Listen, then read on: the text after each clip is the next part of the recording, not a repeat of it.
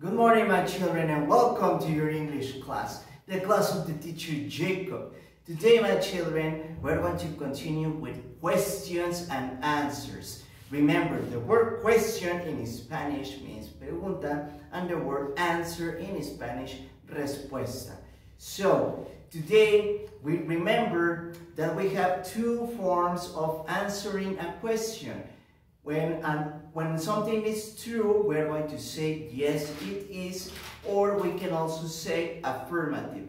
When something is not true, cuando algo no es verdad, we can say, no, it isn't, or we can also say negative.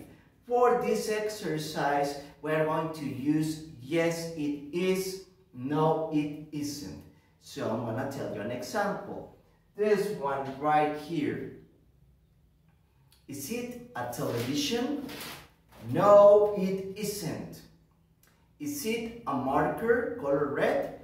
Yes, it is. Very good. So, today we're going to make an activity that is part of your teddy book. It's located in this page. This is the page right here. So, if you want to work along with the teacher, si quieren trabajar junto al teacher, you have five seconds to grab your teddy book and to grab pencil and colors, okay? I'm going to count to five so you can pick it up. One, two, three, four, and five.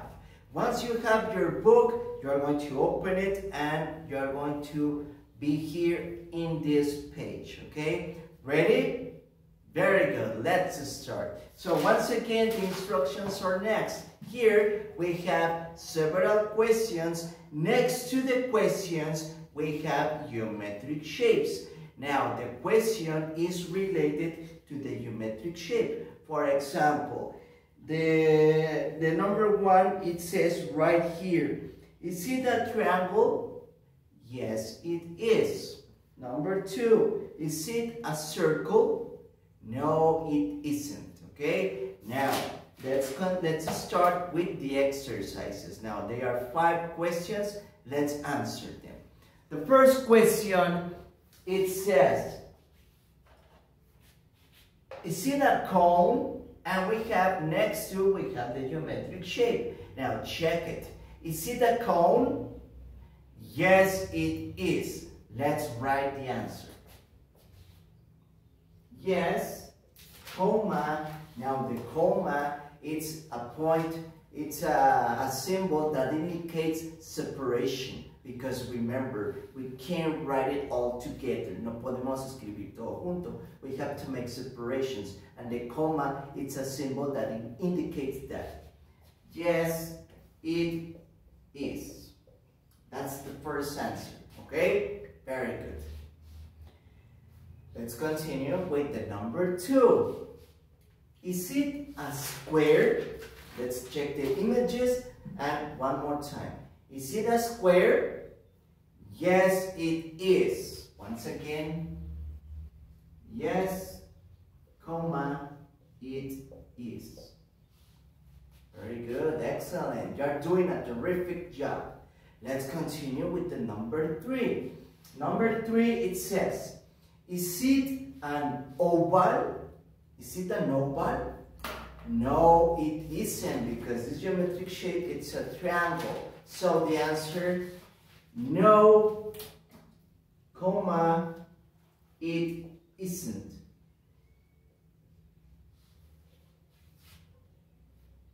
Very good.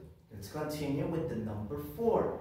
Number four, it says, is it a cylinder? This subject right here. Is it a cylinder? Yes, it is. Yes, comma, it is. And remember, the cylinder, it's a geometric shape, a three-dimensional geometric shape, and one object that looks like a cylinder is a glass, a plastic, or um, a glass that is made of crystal and inside the glass we use it to drink a liquid. Let's continue with number five. Number five, it says, Is it a diamond? Remember the diamonds are also called rhombus. So one more time. Is it a diamond? Yes, it is. Yes, comma, it is. Very good. Was it easy or difficult? Was very, very easy. Okay? Now, this is the correct form that you have to answer it in your textbook. But what happens if we want to use affirmative or negative? Let's answer them in that form, but only uh, in oral mode, solo de manera oral. No lo vamos a escribir, vamos a practicarlo de manera oral, um, utilizando affirmative and negative, okay? Very good. So, again, the first question, is it a cone? Affirmative. Number two, is it a square? Affirmative. Number three, is it an oval? Negative, because this is a triangle. Is it a cylinder? Affirmative. And let's continue with the last one. Is it a diamond? Affirmative. Very good, excellent. So you can use yes it is or affirmative. You can use no it isn't or negative. But for your activity of the teddy book, para las actividades de su teddy book, yes it is, no it isn't. That's it for today, my children. I hope that you have an excellent day. Don't forget that these questions, you can also apply them or practice them in your house. Okay, you can pick an object, ustedes pueden utilizar un objeto, mostrárselo a sus padres, a sus hermanos o a sus amigos y hacer la pregunta. Is it an eraser or is it a rectangle? You can pick a toy, for example, podemos agarrar un, un juguete and you can show it. Uh, is it a princess? Yes, it is. No, it isn't. You can practice it at home, okay? Very good. So, take care, my children. I hope that you have an excellent day. Goodbye.